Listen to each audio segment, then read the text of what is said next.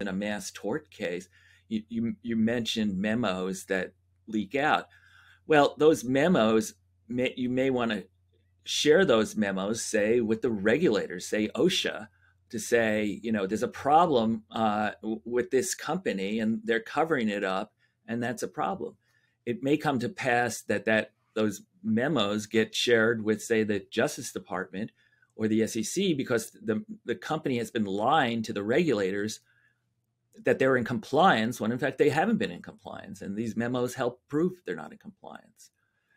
It can be done completely, and I mean, just to finish up, you don't have to put your name on any of this. It can be done completely anonymously. And that's where we come in. We act as an intermediary. We represent many folks who, who we, we raise the issue and we work closely with our clients to, to, to prevent their identities from coming forward. So, so we, we labor mightily to, to say, let's make sure whatever the information is, it cannot be traced back to you.